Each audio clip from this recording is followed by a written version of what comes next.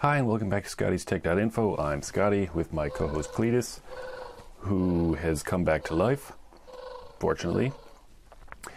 So, uh, I did a couple videos on 5G and Wi Fi and health effects and that sort of thing. I mentioned that you can actually turn down the power, the transmit power of your Wi Fi router, Wi Fi access point, Wi Fi box, let's call it.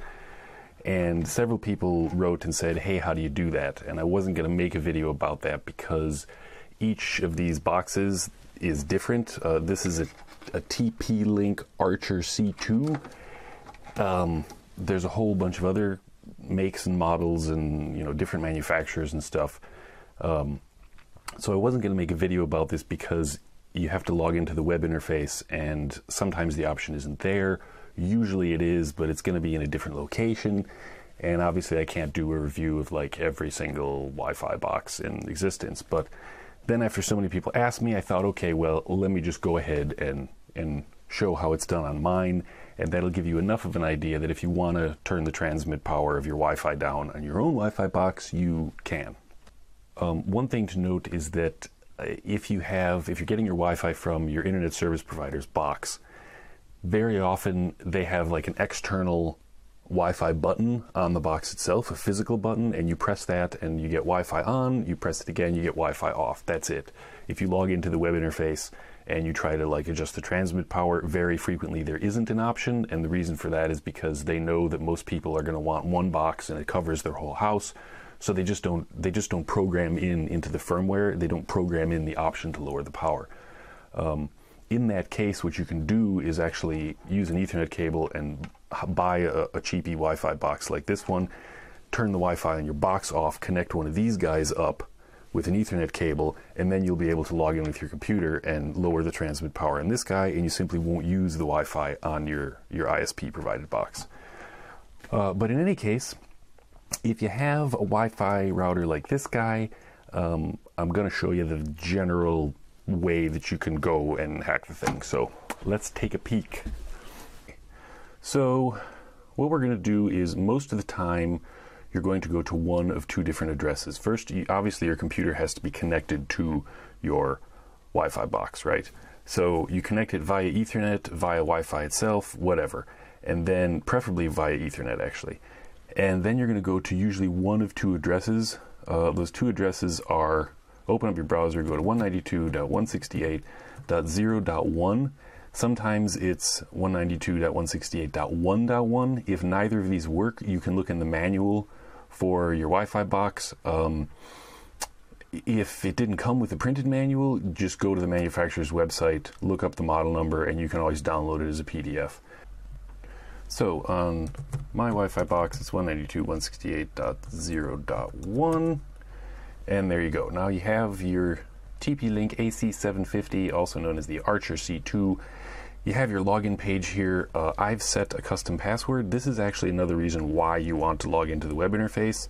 Uh, I'm just going to type in my password here. And so there you go. Now we're in. Um, one of the things you're going to want to do is go to, usually it's something like System or System Tools or Quick Setup, and you're going to want to actually change the default password for your box. Usually, again, you can find this in the manual. Usually, the login is admin and the password is ad- admin. Uh, sometimes the password is blank. Usually, it's admin admin. Again, change the password, uh, increases security, and there you go. Once you're logged in, you're just going to look through this section over here, and you see there's like a ton of settings. So, um, we're going to go to, looks like here's a, a good bet wireless 2.4 gigahertz. Yeah, how about that? You can change things like the mode, you can change the channel. Sometimes that's handy if there's interference. You can change the channel width. There's all kinds of crazy stuff you can do.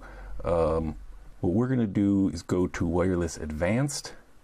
And then here you see we have a little pull down menu labeled transmit power. This transmit power beacon interval RTS threshold, and usually over here on the right, it'll actually tell you what all these things are. So we see with transmit power, it says here you can specify the transmit power of the router. You can select high, middle, or low, which you would like. Translated from Chinese, obviously.